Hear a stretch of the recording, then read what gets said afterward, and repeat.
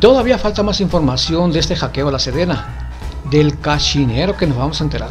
Cambiando de tema, qué susto nos pegó el sismo. Menos mal que el sismo le cayó a Ebrard como anillo al dedo, ¿eh?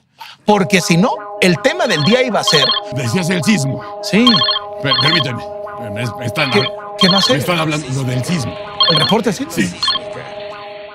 Ajá. Ajá.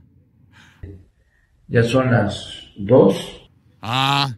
es- Ajá. ¿Eh?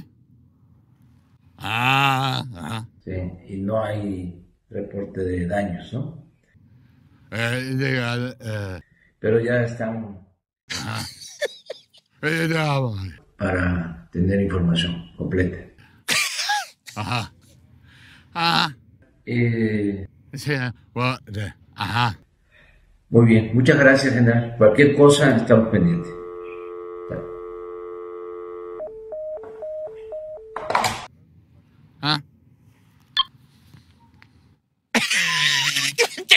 ¿Ese fue el reporte? ¿Qué pasó? ¿Ese fue? Pero, pero, pero está, o sea, me quedo tranquilo, me quedo intranquilo. Pues ese fue el reporte. Ay, hermano. ¿En criterio? Un estadista en Palacio, hermano. Qué cosa. No se cansa de hacer el ridículo el presidente. Oye, a toda hora. Bueno, ya saben que nos gusta ponerle un toque de humor a todo. Este fue el video original. Muy bien, general. eh, ya son las dos, dos con diez, sí, y no hay reporte de daños, ¿no? Pero ya están eh, patrullando para tener información completa. Muy bien, muchas gracias, general. Cualquier cosa estamos pendientes.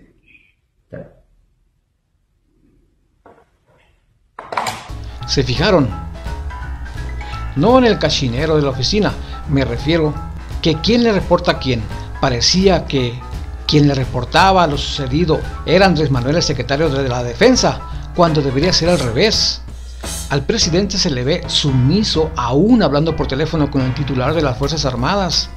Esto le da un poco más de sentido a la columna periodística de Carlos Loret en el Universal, cómo el ejército dobló al presidente en el caso Ayotzinapa. Andrés Manuel en su afán de protagonismo reparte a tole con el dedo a los familiares de los 43 desaparecidos de Ayotzinapa. Elaboran un informe que para darle más espectacularidad al caso arrestan a Murillo Karam, quien fuera el fiscal general en aquellos entonces. Emiten orden de aprehensión contra militares y luego se filtra el informe. Se supo entonces que Andrés Manuel manipuló la información para que el ejército no se viera tan manchado y quedara él como el descubridor de la nueva verdad histórica. Pero nada le sale bien. Murillo Karam está a nada de salir de la cárcel. Renunció el fiscal del caso Ayotzinapa, Omar Gómez, y los militares, molestos con el informe que solo les regresa la culpabilidad. Es un honor estar con Dobladón.